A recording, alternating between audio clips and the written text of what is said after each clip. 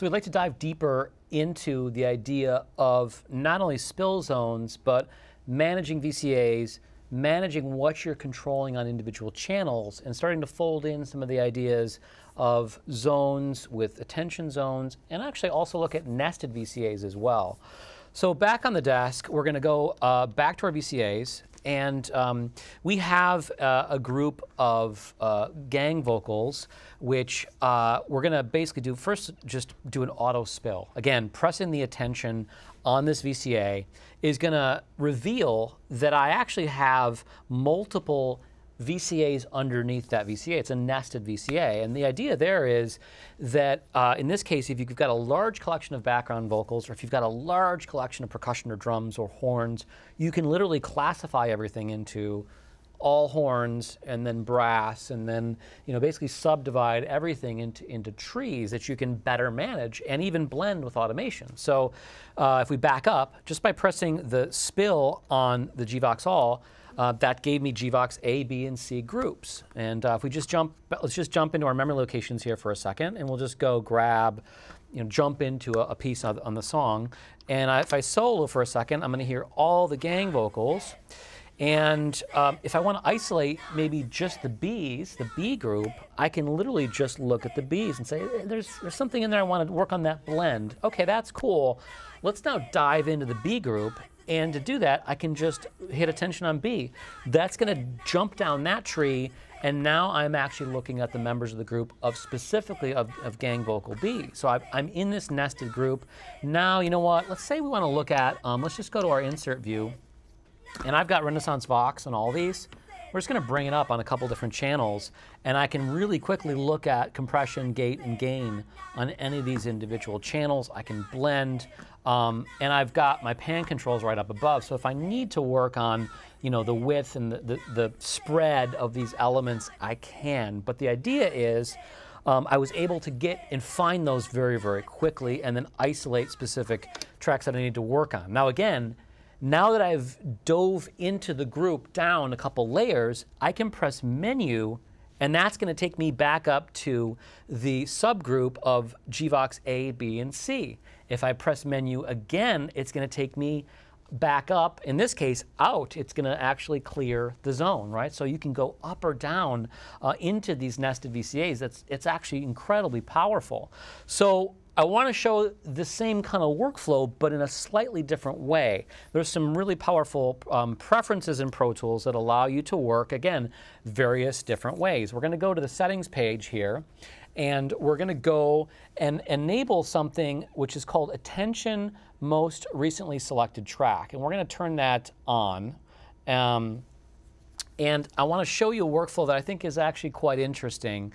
Uh, and we'll just go back to our tracks page for a second here. And this is leveraging the function in Pro Tools, which is called scroll to track. And scroll to track is the idea that I can uh, literally start typing a name of a track, whether it's a, an individual you know, lead vocal or a drum VCA or whatever it might be. Um, if I know the name of the track, I can grab it and then using what we saw, what we looked at previously, which was auto spill, right? So automatic spill of attention VCA says spill zone right. We talked about that previously. Using kind of that combination of preferences is going to allow me to do something I think um, pretty interesting. So um, I can either use the keyboard shortcut or use the menu command in Pro Tools, or uh, even better, I can actually go to one of my soft keys. Uh, I think under the user page one, I actually have a scroll to track. So I'm going to press that and a dialog pops up, and I can literally start typing. We're going to type in. Um, we're going to type in. Uh, for the, the GVox, the vocal VCA for G, v, GVox. Let's do that. And there's, I see the list. Let's go to all. Let's hit OK. Now, check it out. It found the track. It sifted and it grabbed it, and then with auto spill, it gave me all of the sub members of that, right? So Vox A, B, and C. Again, now I can go and say, oh, let's listen to it. Cool. You know what? This time let's actually dive into C. So I'm going to spill into C. Great. Let's just look at panning on those because I want to do some blends. And let's also look at our sends, right? We're actually sending to uh, some reverb here with a, uh, a Valhalla verb. Now, one step further, we talked earlier about on attention zones. Great, I've got these vocals, they're part of group C. I'm tweaking the uh, individual sends, but you know what? Let's do some EQ on these. Well, all I've got to do is go back to my um, extras page here, enable my on attention zone. I want to work on GangVox 3, and boom, now I'm EQing right? Now I'm EQing on GangVox 3 right from here. If I attention any of these tracks, I can quickly get to the EQ and that dedicated predictable model that we talked about um, right from the, uh, the model here. Here's my high pass filter we can see, right? Here's my high, high shelf, high parametric and any track that I attention is going to fly into that zone because it is currently active. If I disable the zone, now I'm back to panning and tweaking the sends on those individual tracks to get the blend that I need. At any point, I want to go back and tweak the high pass filter, even on the fly. Just go back in, well, let's tweak the filter a little bit on that. Let's go to 24 dB per octave and let's go pull that in, right? So this gives you incredible power um, now that you've got a combination of spill zones, right, being able to find a food group of elements you need to work on, even if it's nested, um, that gives you even better organizational control over all of those vocals or drums or keyboards or whatever they might happen to be. I can use the menu function to, to work my way out of those nested groups. I can enable and disable the zones at will. So I'm looking at individual sends or I'm looking at a dedicated attention zone that anything that I attention is going to fly into that into that particular real estate. So it's incredibly uh, incredibly powerful. So while we're talking about those um, those gang vocals, I thought it would be cool to show you a little bit of um, uh, more about managing tracks and navigation. So we talked a lot about you know looking at our.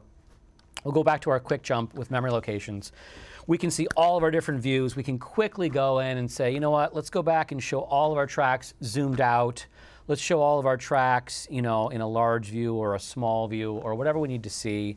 Uh, and let's look at the second verse and boom, we're at the second verse and we're playing. So that, we've already looked at that. That's a really efficient way to navigate around. Well, from the tracks page, if I want to simply justify and jump to a track in Pro Tools, I can literally just go into select Using the control key, the control modifier, I can touch a track. So I'm going to touch uh, the chant harm and boom, Pro Tools actually jumped to justify to that particular track. Let's go to the guitar chunk.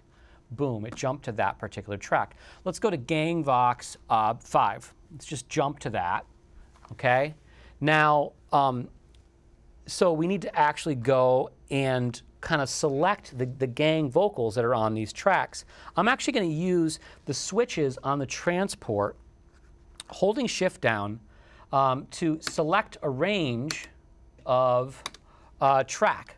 So we can actually take a look and we've actually selected a range of the gang vocals that we're going to now loop around. If we hit play, we're now isolating and kind of working on that particular section and we can actually we can actually isolate those and kind of define a selection. So our, our next and previous functions here are giving us the ability to jump between clips, right? And that gives us a lot of control, a lot of power. So having the ability to define attention zones, leveraging spill zones, and using nested spill zones gives us a really great uh, sense of organization to be able to structure our session. Uh, and again, on the fly, we can control channel-based elements like pan and send that we looked at. We can leverage our attention zone to bring up the, uh, the EQ that we looked at. And then we can also take advantage of some of the new features in Pro Tools like scroll the track, where you can literally start typing the name of the track, which is then going to trigger that to, in this case it was a VCA, to automatically spill the members of the group into the bucket that we so choose. So organizational features that will speed up your management of working with tracks in Pro Tools.